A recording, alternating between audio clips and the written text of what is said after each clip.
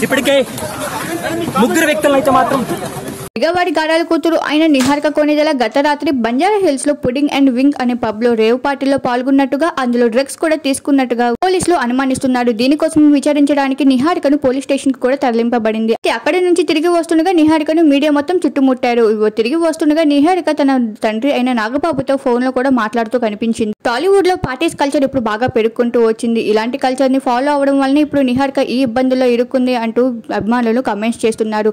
అంతేకాకుండా ఇప్పుడు ఈ కేసులో కనుక నిహారిక నిందితురాలుగా ప్రూవ్ అయితే భారీ జరిమానాను చెల్లించడమే కాకుండా జైలు శిక్షను కూడా అనుభవించవలసి ఉంటుంది. మరి నిహారిక ఈ కేసులో ఎక్కడి వరకు వెళ్తుందో చూడాల్సి ఉంది ఇంకా.